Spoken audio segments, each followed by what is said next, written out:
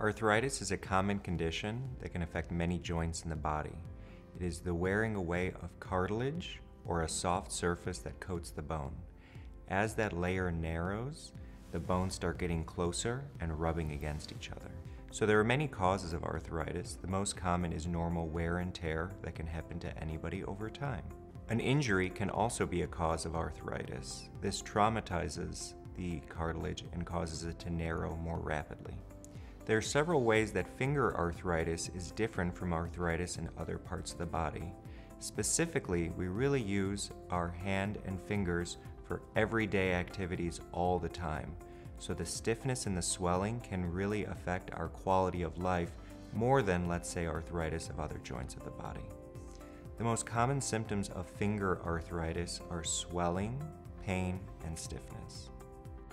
In the hands, because we use them and the fingers so frequently, we might feel a little bit more the stiffness that accompanies arthritis.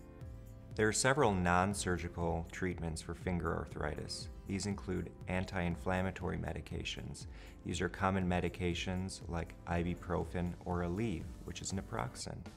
We can also use splints. These are immobilization devices that we can wear across the joints that really help with the pain symptoms. Surgery becomes an option for finger arthritis once non operative treatment fails or no longer provides relief to the patient.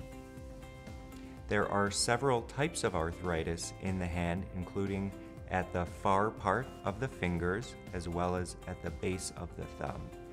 Surgery for arthritis at the base of the thumb is more common and again, this becomes an option once non operative management no longer provides relief.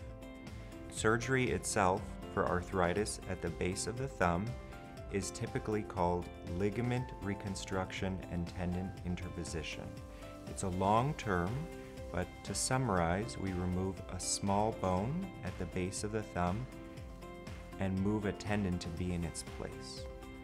From this surgery, people do go home the same day but typically they are immobilized or in a splint for several weeks, typically followed by several weeks of therapy. I usually let my patients know that it'll be several months before they're back to doing all of their normal activities.